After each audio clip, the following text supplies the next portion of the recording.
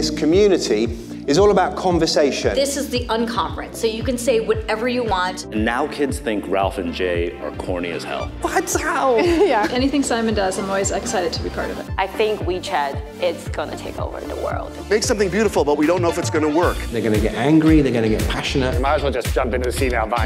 Yeah, I've never felt senile by now. Ivanka, a fascinating figure, because she provides moral cover for her toxic father. I have never been called an idiot so many times. I don't think that you should do something because you're marketing. In an altruistic way.